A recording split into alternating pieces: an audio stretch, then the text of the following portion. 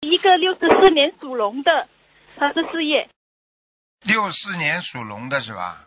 嗯，啊，对，谢谢师傅，感恩师傅，终于打那通了，男的女的啊？男的，哎呦，他不好说什么都不好啊，不好啊，嗯，他现在免疫系统出毛病了，肝呀肝也不舒服啊，那个肾脏肾脏也不好啊，那怎么办，师傅？怎么办？你去问问他年轻的时候做过什么，杀业太重啊。你要知道，任何一个人都有报应期的，他的报应期到了，你不知道啊？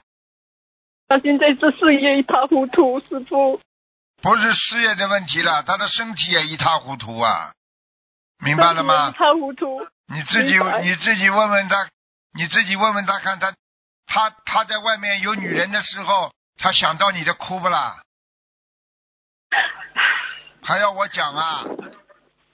他他自己做做了那么多的杀业的事情，他自己还有什么话好讲啊？你替他背啊，你哭得来这个样子啊，你救得了他不啦？他过去好的时候，他生意做得好的时候，你劝他他会听不啦？你告诉我呀。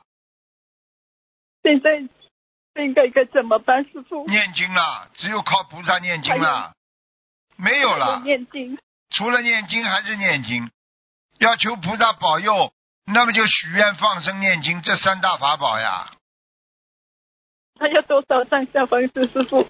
我可以告诉你，非常倒霉的他，他很多的关他都过不来。嗯对对，师傅讲的没错。嗯，真的。告诉你，怎么办？自己的业障自己背。我告诉你，对，现在他正在家里靠他一个人做。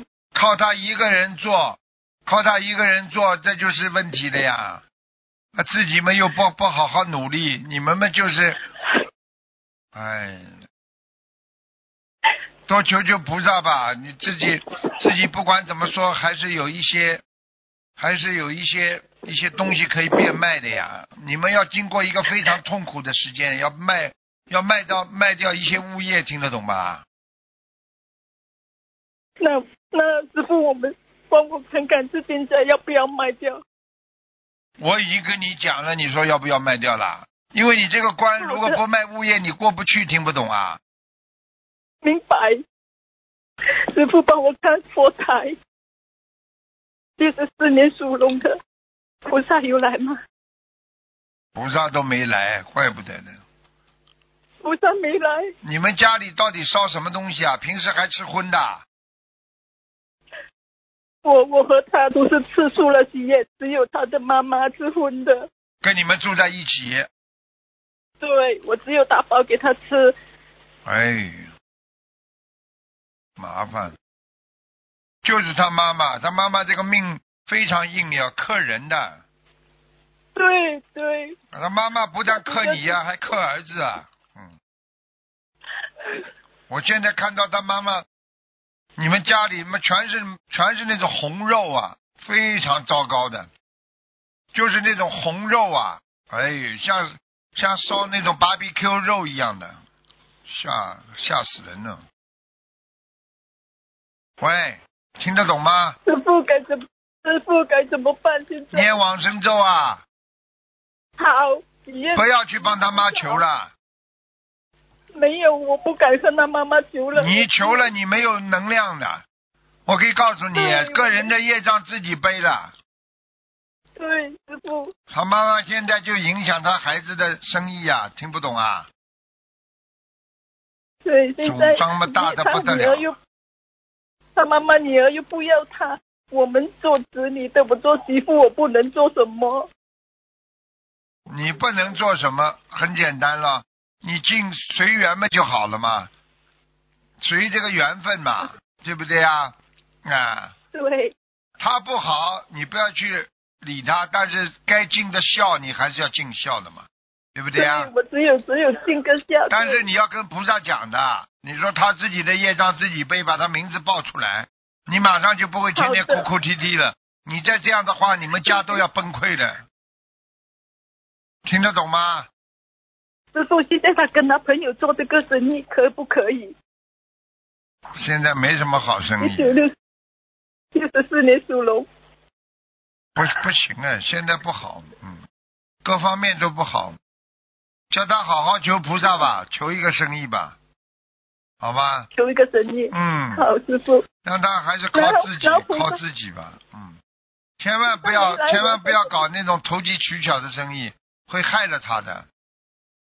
已经已已经害了好多次了，师傅。哎，麻烦了，哎，还好了，当心点了，没卖老婆就好。你再这样下去，怎么卖老婆了？我跟你讲，怎么办？好好的念经了，求求菩萨了。我告诉你，任何老公糊涂自己苦的话，就是因为菩萨不来呀、菩萨不来的话，家里必定有业障啊，明白了吗？那我现在要重新开光过吗？还是什么？再求？你求呀，求菩萨来嘛就好了。你重新开光也可以的呀。你开光不是你给菩萨开光，你是把菩萨请过来，听得懂吗？明白。念一百零八张小房子，一百零八才是家里的要经者对吗？不是家里的要经者，你你老公四十九张，你自己的要经者四十九张，其他的剩下来给家里。嗯，好的，好吧明，白嗯，明白，感恩。你要是再你要是再这样的话，你你这个命就完蛋了，我告诉你，这命苦命鬼。嗯明白，真的，你一辈子就眼泪泡饭吧真的根本不能不能活了。是啊，你要记住了，不能活也不是你一个人的。